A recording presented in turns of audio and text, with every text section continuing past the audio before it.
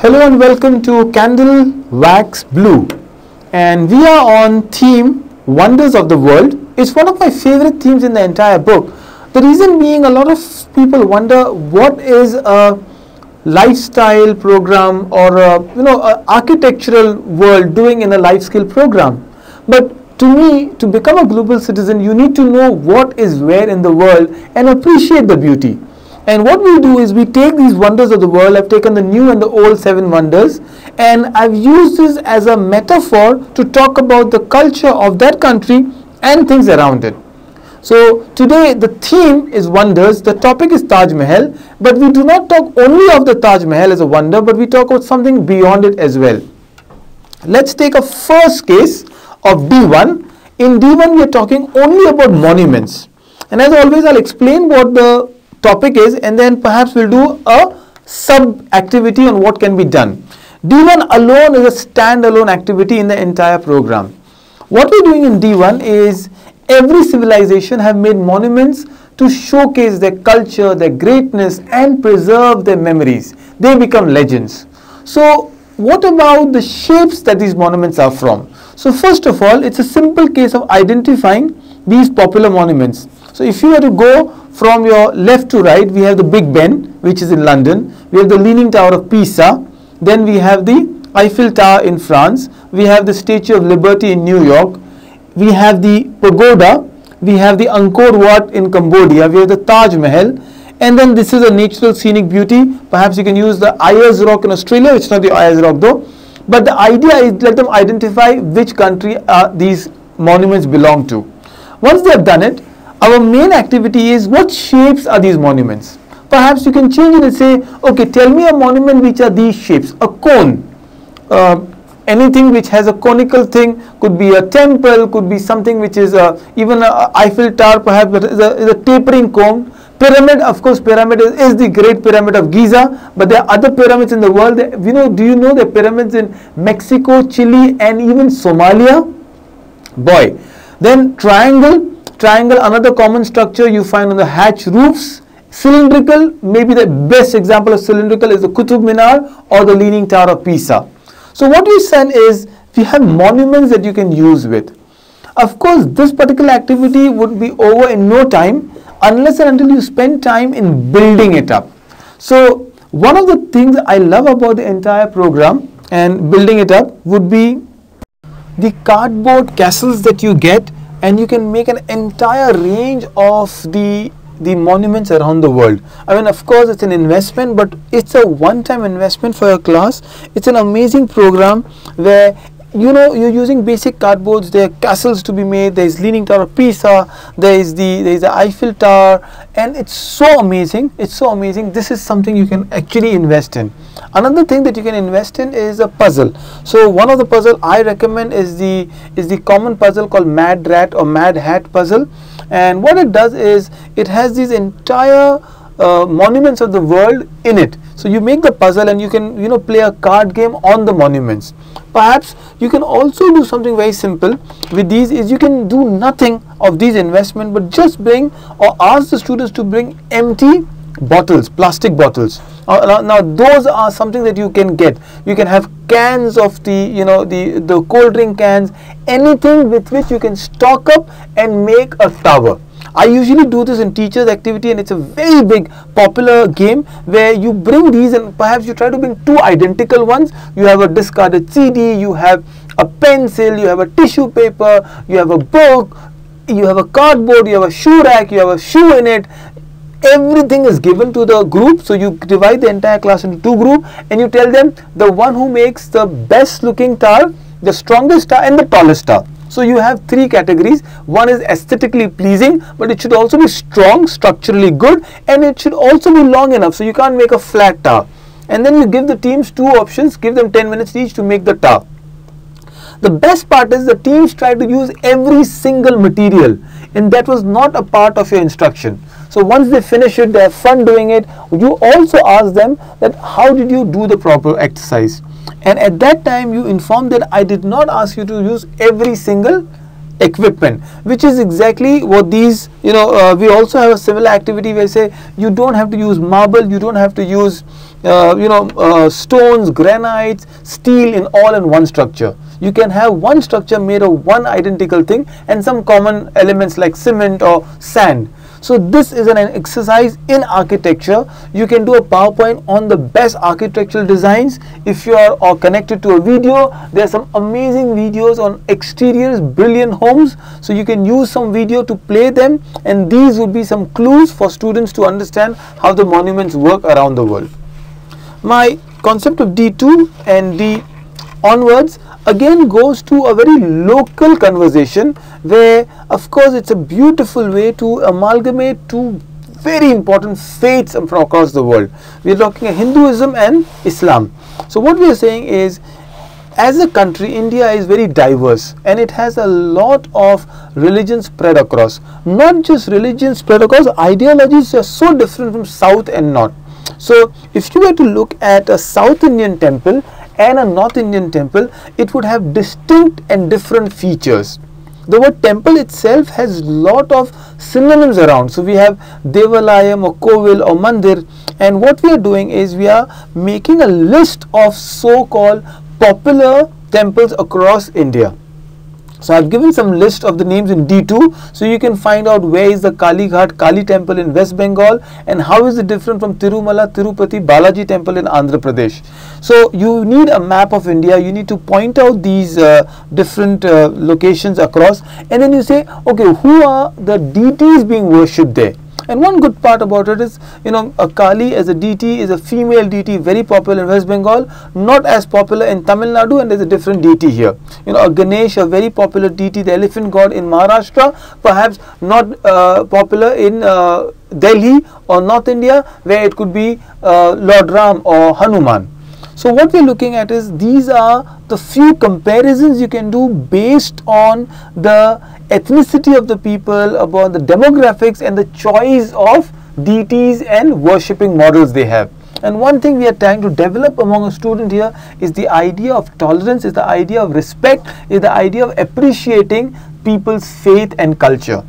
Then as you move ahead, there are these South and North Indian temples, there are two distinct temples being given in D3. A student needs to now look at these temples and then they need to bring out the differences between. As I said, very distinct identities come in. So which one is a South Indian and which one is North Indian? What do you see? What are the conclusions you find from the architectural perspective? Remember, this entire exercise is the architectural perspective into it. So, we, you know, it would be amazing if you can get an architect in your class and do a guest visit perhaps it will be brilliant. So we are saying look at the colors.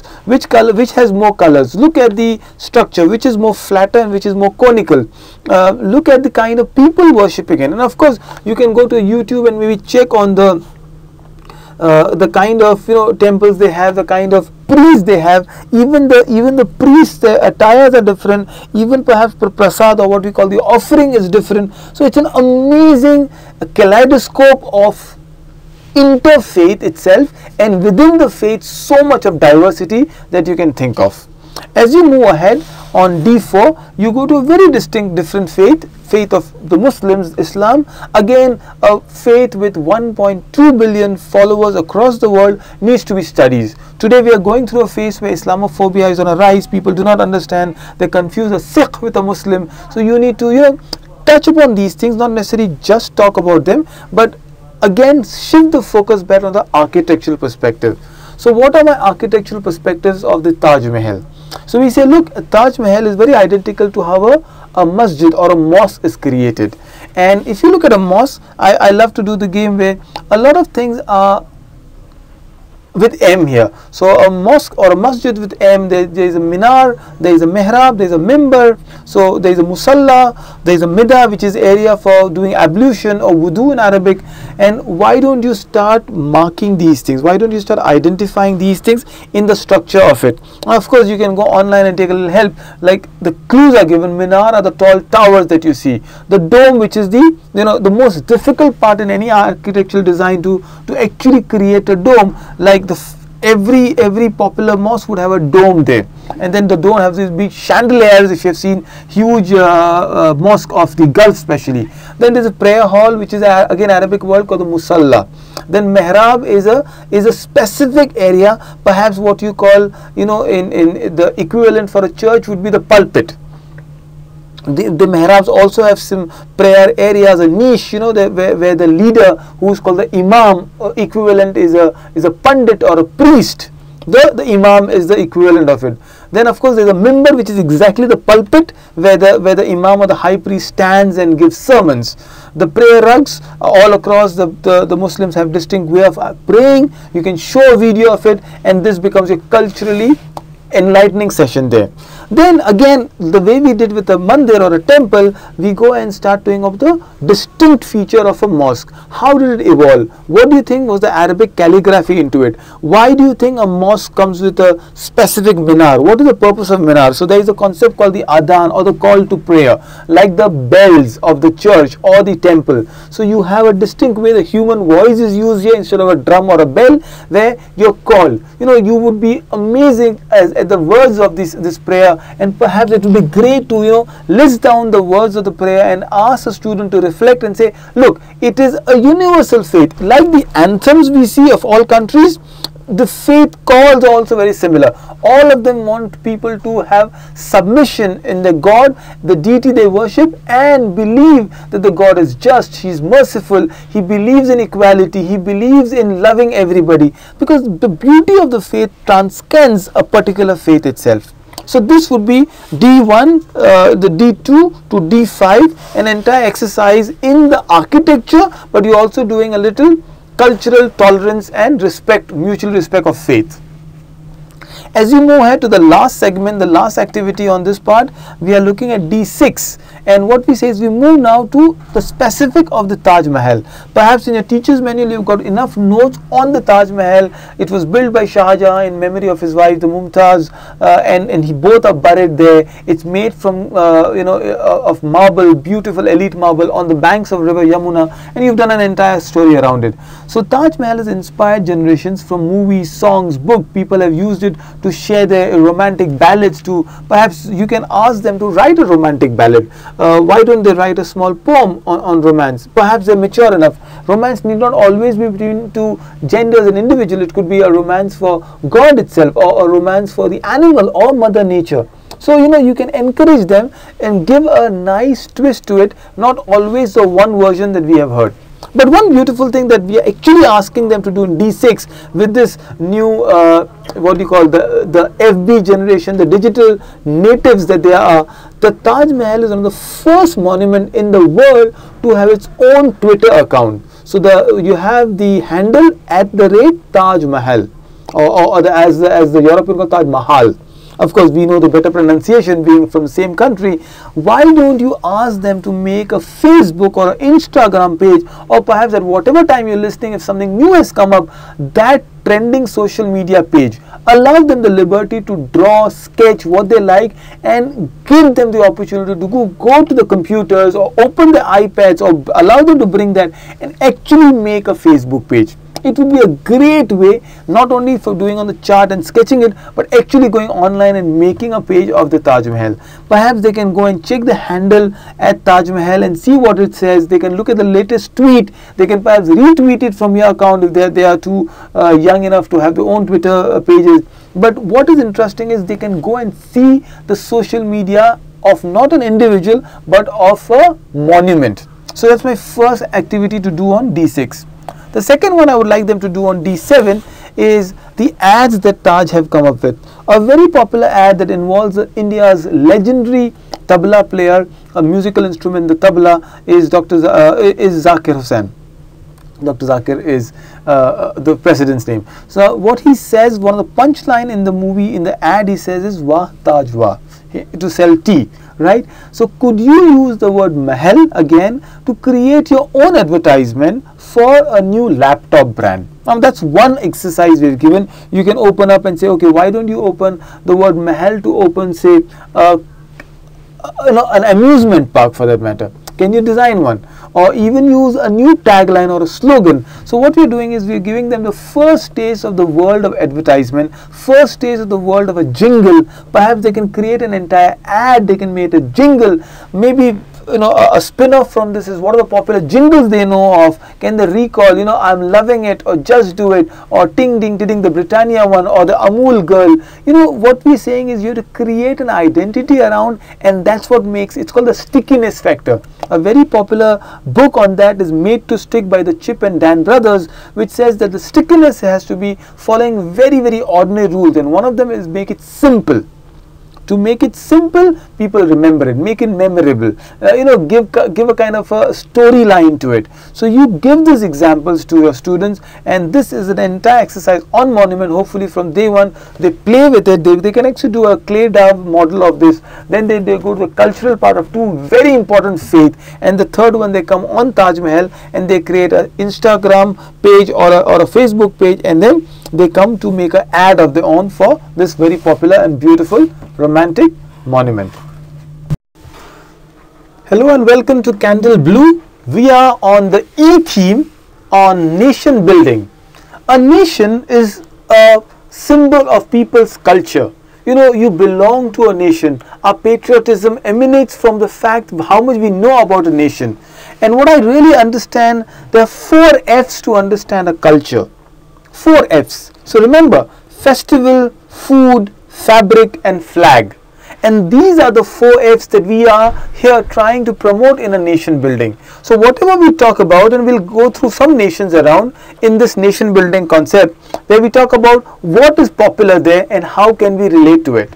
So in this section festival what we are talking about is we've gone to a favorite country perhaps if you look at the the kind of uh, you know uh, China's uh, talk topic we've been using from violet to blue now. So we're taking the Chinese New Year. It's the Dragon New Year as a symbol. China uses different symbols. So there was the year of the pig, the year of the uh, cat, or you know the year of the uh, crop. So they have different symbols around and we've taken dragon which is like the fifth position among the Chinese animal. The people who are born in the year of the dragon are said to be strong, brave and healthy. So that's the kind of uh, symbolism we are using around and as we always say what are we really going to teach about in E1 is just the concept that how is dragon related to you do you really think dragon stands for this? Perhaps you can talk about the famous dragons that they have seen. Now, of course, when from dragon we can go to Norse Lesh, which is a Scandinavian uh, war horse kind of a sea creature.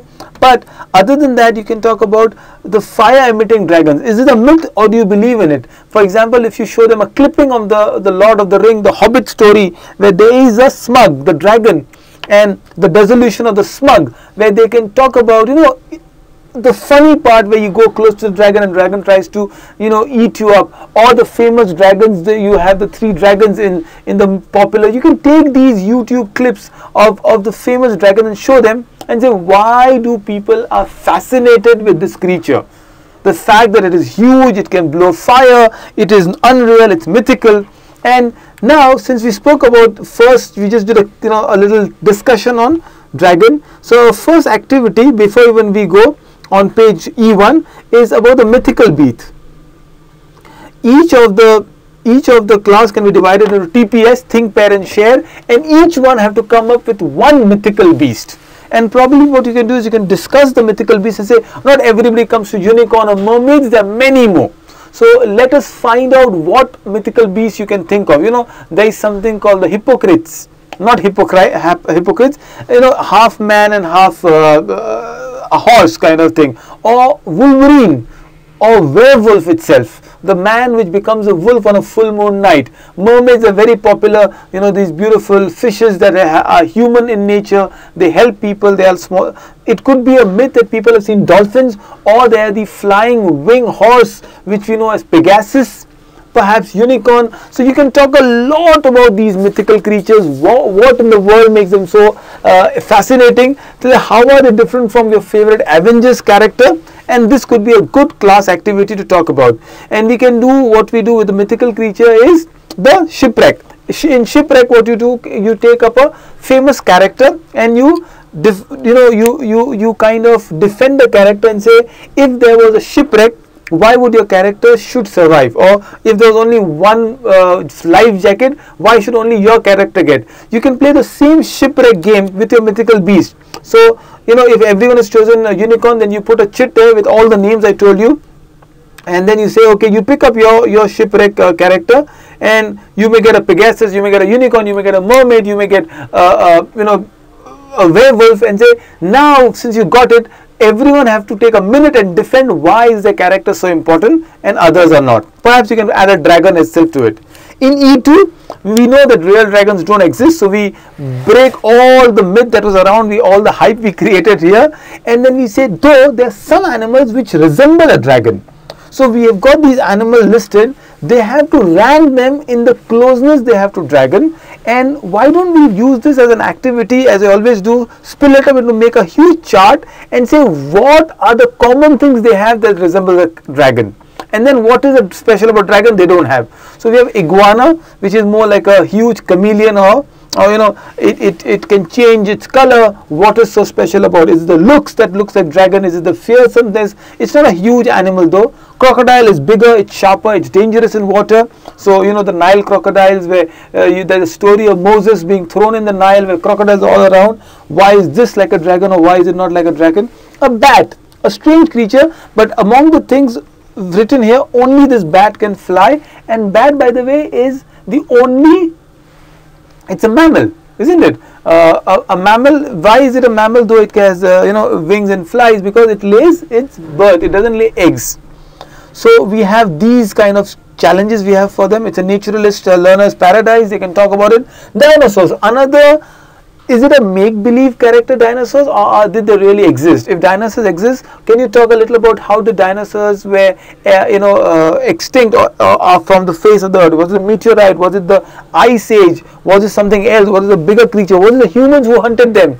Of course, we came much later the dinosaur age, the Jurassic age as it is called. And then in E2 we have the last animal which is the Komodo dragon and you can talk about this Indonesian species, very famous, where you can compare what's special about a Komodo dragon. Look at the tongue it flies out, and even each animal you can go online, check up some uh, facts for, for these animals, find out what are special about them. They can make a fact finder and they can share to the class what these creatures are all about. So that's the first thing what festival of course now since we have spoken about the 4F for the festival I add a fifth one or the sixth one it's called finance famous people as well. So what we are saying is since you took a country China and which is at a higher level now why don't you add some more to it? So we spoke about this one festival the Dragon New Year. Is there something else you should know about China? What about the food they eat? And of course the only thing you know is the Chinese food. Uh, what is a Chinese food? Find a little more about it. Fabric. So what's the fashion sense in fa China? What kind of dress do they wear uh, you know what's the traditional dress? Of course the flag of China China is so smart it gave itself five stars on the flag. What does the flag represent? What's the finance part of it? What's the Chinese currency called? Is it called yen? Why is it called yen? And who are the famous people? So who is Mao?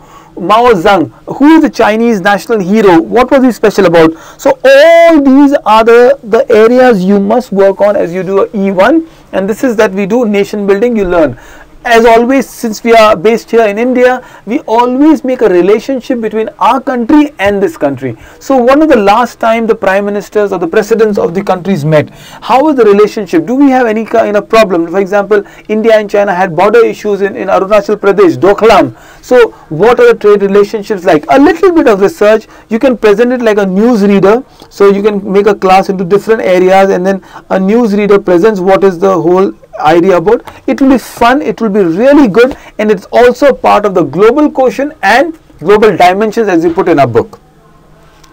Okay so we've taken a lot of time to explain e1 and e2 we rush to e3 and we go to a new country called spain the popular festival of Spain is La Tomatina. It's a very, very uh, you know interesting festival where people all around Spain, you know, gather together. They throw tomatoes to each other very similar to some of the other festivals especially Holi in India where you play with colors or there is a you know cold water festival in Thailand and Burma where you throw cold water in each other how different is Tomatina there is another country uh, where uh, I remember if Mexico, it's it's the same thing with oranges. So you throw oranges at one another. It, it could be Holland. You can check it up, but it's interesting.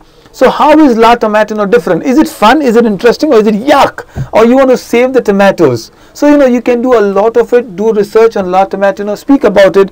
Discuss what this festival involves. Uh, perhaps you can you know you, we will talk about using tomatoes in the class. I won't want you to smash it up, but maybe who knows? You can bring a ketchup bottle, and I don't want you to just throw and, and spoil it. But a quick question, a case study right now is: Is tomato a fruit or a veggie? Now this is interesting. A lot of you would say, yeah, it's a vegetable.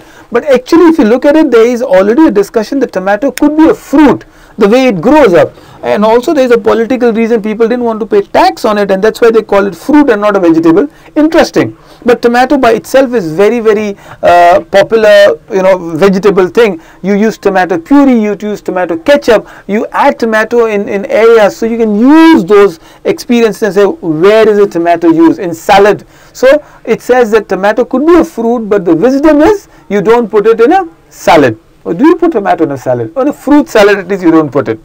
I'm skipping E4 for the time being and just jumping to E5 and I'm saying E5 since we spoke a lot about tomato you could actually ask students to bring tomato and make their own tomato sandwich. And you know it's not difficult tomato sandwich. All you do is slice it up put some lettuce put some cucumber nice bread with cheese into it and a class can have a good brunch together also if you are a more of the you know the cooking kind and little more uh, experimental you can actually try and make tomato puree if not tomato ketchup. Or maybe look at the process of how do you make a tomato ketchup. Interesting. So you can add these ideas into it and and perhaps students can understand a very different world of what it is now we spoke about tomato and Spain. So again we go to the four F's of culture and say what does a Spanish flag look like? What's the country look like? Spain is known to be a beautiful country. You know you have the Spanish dance, the Florence, uh, the, the areas they have they have Seville. Of course Spain is known for football. So the culture of Spain comes into that way. Madrid the capital, what is it about? You can talk about the Spanish money when the country went through debt and, and then what her, your country's relationship with Spain. And again you talk a lot more about the country in general. Perhaps every time we do this nation building I would like you to make a huge map of the country. Stick it in your class. Do it in your binders. So it's fun to know about a new country. And then if you were to fly to Spain, what would the best cheapest airline? They can go to MakeMyTrip and find out the airlines options. What is the Spanish national airline called? Who is leading Spain? Oh, of course, when you speak of Spain, can you not talk about bullfighting and CR7, Cristiano Ronaldo and Real Madrid and Barcelona. So there's a world that you can talk about of Spain. The last activity on E4 is people's debating as I mentioned that and all I want is think of 10 red things not difficult. We've given you a lot of clues here. So but each red thing you can speak more about it. For example especially the double decker bus is an iconic london symbol. So you can talk about little more of red. Why is red called the love uh, is it uh, is a heart really a shape? It is the red heart or the red ruby the red cherry and the red apple and the whole story around apple. You can talk about snow white and the apple newton apple steve jobs and the apple the rose the other flowers that are red. Perhaps you know you can think of a red daffodil red dress red crayon strawberries sandals balloons lipstick. So the world of red and they can make a chart. You can play a game around it and this would take us to the entire concept of Spain and red there. The last one is very fun. It's, it's really interesting. We are concept of Halloween. So E6 we are talking about nation building but of course we are also breaking a lot of stereotypes and myths. Now, when we talk about Halloween, we are talking especially about the American celebration on 31st October when Halloween is celebrated with great gusto and fun, and it's also a part of a lot of movies where, especially scary movies, you dress up and come. So the whole idea is you have these pumpkins which are uh, put up in different places. People tell scary stories to each other. They also watch scary movies I, I can't recommend a movie called Creeped Out. Creeped Out is available on Netflix. You can download some of the episodes. It's a very, very nicely done, scarier part, but a lot of good message into it. You can think of some easier ones also. It is another one which people might like Stephen King's movie. Uh, if it's scary, movies really work. But we are doing a lot of scary part here. and Halloween is about people going and it's called trick and or treat. So they go and they, they have their costumes and people give them sweets. In, in what is the origin of Halloween?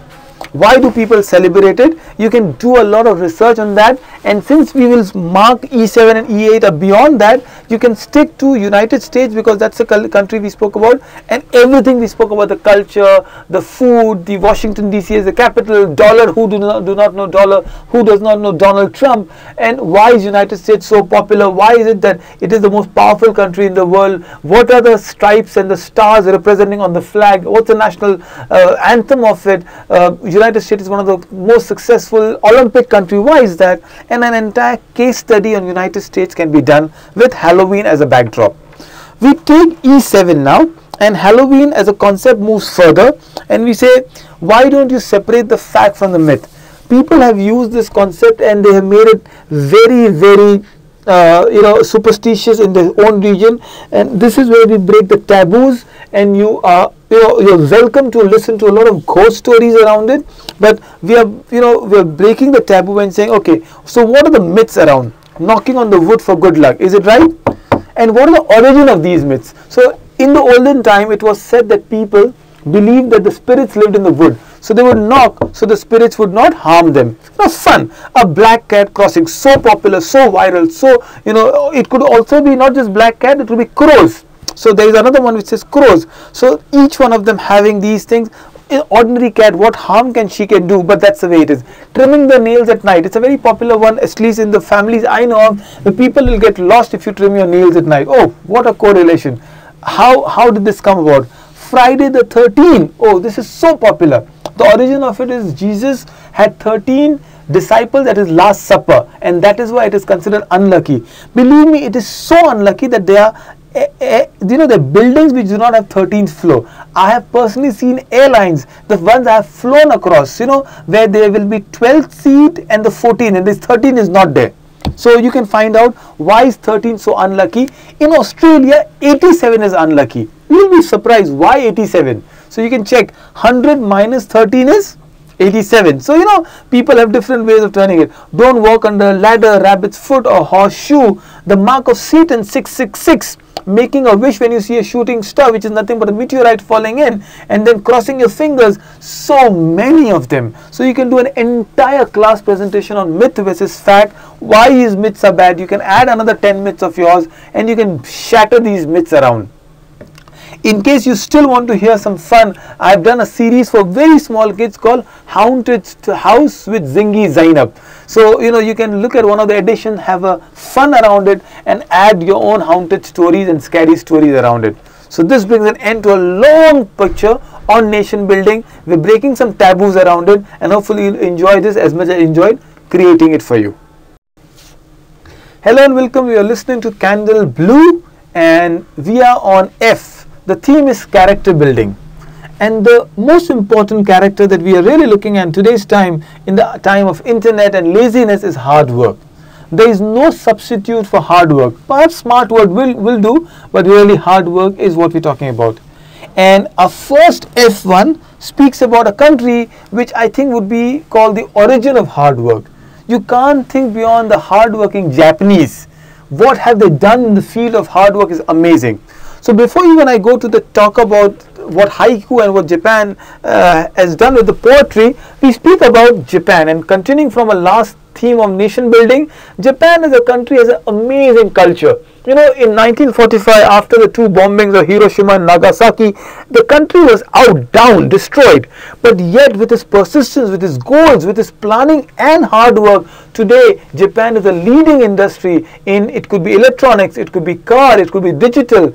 Japan, it could be steel and Japan has done it. So you can do a small bit of case study on Japan pre-World Cup, uh, pre-World War, the Imperial Japan, what happened after the World War when the atomic bomb was dropped and then post that what Japan has done and how it has changed. Japan takes a lot of pride in its culture. So one of the things, a traditional form of Japanese poetry is called the haiku. Now haiku is a very ordinary simple poem of three lines the first and the last lines of haiku have five syllable, the middle have seven syllable. Syllables are not words, but that should be fine for us. You know, if you can just look at some more. So we've given an example of a Japanese haiku and here is something in part. you know you, you know to teach you this in a haiku way I am first with phi then 7 in the middle phi n to begin phi again to n. Now you, you could see the haiku is not rhyming as some other poems you expect English to rhyme but haiku is that's the way it is done. Haiku could be about animals, season, children, country, flag, you know, some fun festivals. So we have got famous haiku poems on hard work. The value of hard work is appreciated by those who do it. You know, that's it. So we have given some examples on haiku in F2. Read the haiku and why don't you give the title of it? Just give some title to the haiku so it is a fun to it you know whatever you would like to. It's a very very simple way. So you did an entire case study in Japan. That took a bit of your time. You perhaps as I always recommend make a nice flag of Japan. That will help your students do a little coloring around. It's not the most perhaps one of the most easiest flag in the world to draw. It's just a red circle which symbolizes the sun. Then you teach haiku. You do the haiku with these uh, title thing. And F3 we actually ask them to make haikus on common topics. So I've given you sleep, sacrifice and help. You can choose any four five topics on haiku and create haikus and you do a little bit of research on what a syllable is so it'll be easier for you to understand and prepare. So this is my first activity on hard work coming from Japan. If you can think of a parallel activity as you always want because sometimes we have enough time, we want to do more, why don't you dwell on the poems itself? What are the popular poems in the world? You know, uh, uh, what is the difference between start with nursery rhyme and a poem? Interesting, isn't it? Like how is Humpty Dumpty, Twinkle Twinkle, Baba Black Sheep different from poems? Well, they are poems, but they are called nursery rhyme because their target audience is very small kid, toddlers. We all grew up. We remember the nursery rhyme so well. As we grow, then the poems come in. Poems are longer, they have more rhythm to it. There could be different kind of poems. You can do a research on it. There might be a poet in your class and we never knew. Sometimes these are art forms and expression we have never ever tried. You know, every culture, every language has a lot of respect for poems. It's beautiful, it's very catchy. You can convey a lot of messages. One of my favorite is, you know, the woods are lovely, dark and deep. I have promises to keep and miles to go before I sleep and miles to go before I sleep by Robert Frost. You can talk about that poem oh, or one by Rabindranath Tagore. Right? We shall overcome, we shall overcome, one day we shall overcome. Very popular ones, Hum Honge Kamyab as in, as in you know, a, a local language that you can speak about. So you can choose what poems are popular. The ones I've mentioned are just very common ones. You might have better ones. I would love you to share a poem with your students. Ask them what poems you have. Bring a book of poems. Read something about. Sometimes just developing a taste for it. You know how you develop a taste for certain food. You might not like it. You might not have it. But once you try eating it over and over, you like it. The same thing goes with poem try downloading some of the most popular poems. You know, the, there's a beauty to lyrics. What's the difference between a poem and a song then? And you know, there's some really beautiful lyrics out there. It touches your heart, the melody, the rhythm, the kind of sorrow and joy you have in it. I remember as a part of my school, I had an entire book of poems, and that's when I started falling in love with it. So you can choose, create a list of your favorite poems, and then stick the best ones. A small tidbit to it in, in, in the older time uh, Arab world, you know, the Arabs were very proud of the poetry, which is Arabic, of course, and they would have an annual poetry competition where the best poem would be stuck on the the the Kaaba, the black uh, structure that is the annual pilgrimage for the Muslims. But this was the level of poetry that people have. So perhaps you can just do a poem competition in your class. That brings me to F4 and F4 we move from Japan to a different area the elephants. What are we talking about elephants is the elephants, you know, of course, a natural animal, huge beast, beautiful, are actually made to work at the log factory. And perhaps this activity came from my own example of growing up in Andaman and Nicobar, and there is a small island called the Hut Bay. And in Hut Bay, when I went with my father, who was a captain, we, I really saw the elephants taking the log. It was very cruel, it was difficult, and perhaps I shot a letter to then Environment Ministry, Maneka Gandhi, and I got a reply. And today the elephant log work is banned. So why don't you use this as a case study? Give this example to your students that perhaps the author of the book shared this story. It's interesting when you talk about personal stories. And we've talked about a character called Tara who uses the idea to write about the hard work that the elephants are made to at the log factory. You can make a fictional story uh, of the elephants in the Hut Bay, which is an island in Andaman, or somewhere real in Africa, in, in maybe in, in, in Somalia or Sudan or Kenya, and you say we have to protect these animals and not use them. And then you have to write a paragraph about the inhuman conditions of the elephant. The web is given on F5. So you can use the web. The web is an idea generating diagram.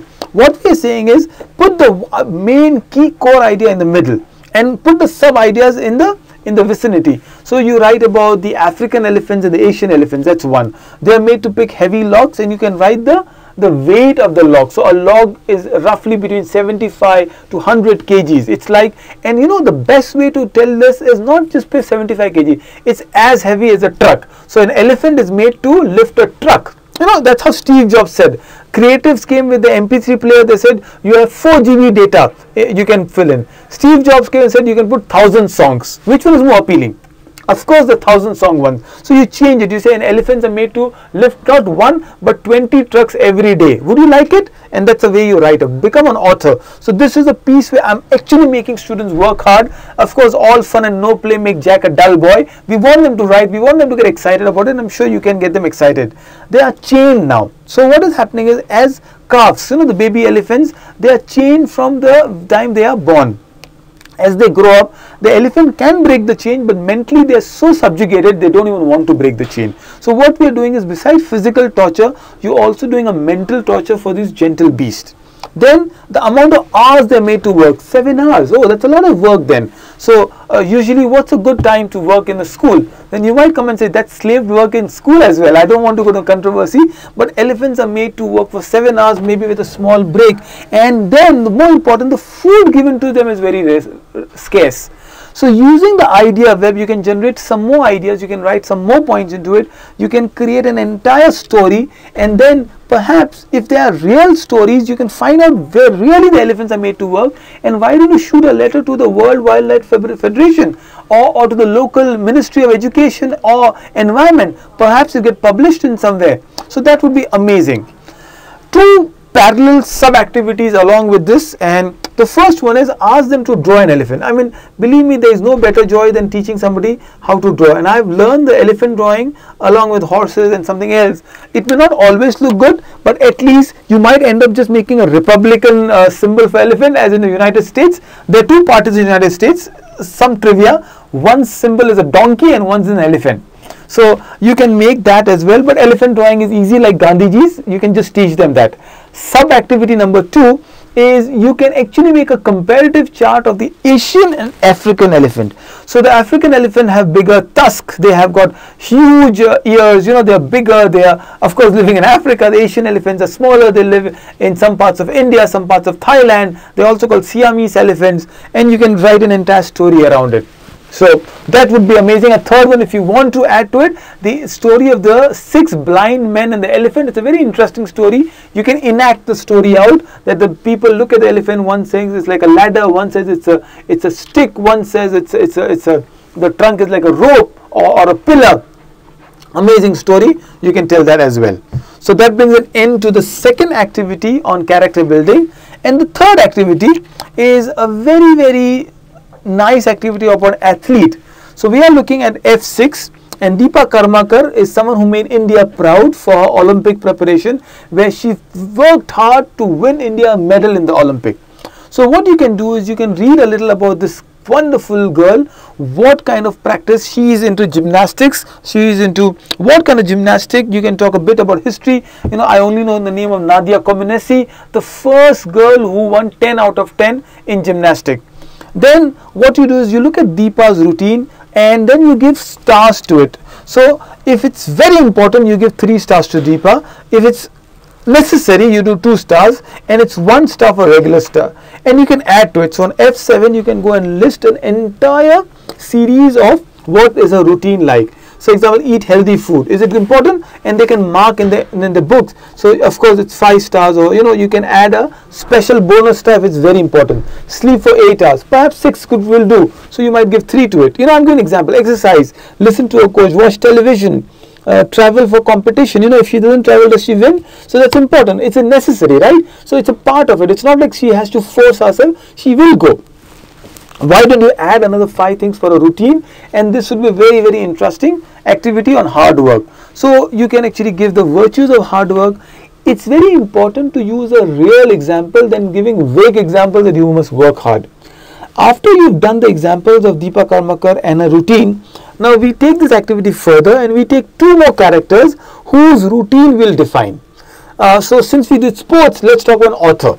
So what could an author's routine be yeah, of course, do authors have to work hard? Of course. You know, there's something called the writer's block. Teach them that authors just can't write or they do they're worried about writing. So so author may not have to do exercise so much, but they may have to watch more TV or read more books, you know, or travel more for just understanding the idea. So why don't they make a routine for an author? What kind of routine? And then add things that authors should do to increase.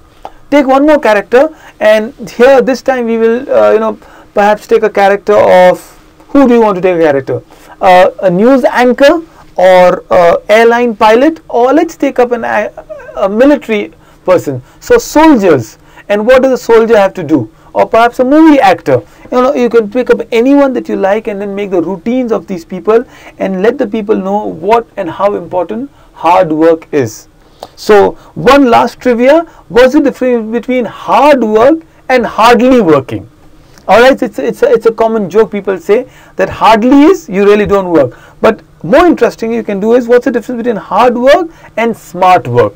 Make a nice chart that sometimes people work too hard. You know, it could be like an essay competition and you're focusing on writing the right thing.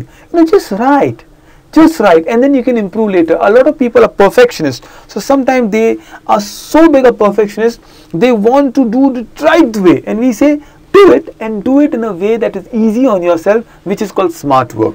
So I hope you work a little smarter and you enjoy these activities, give your feedback and make sure we build a character through hard working. Thank you.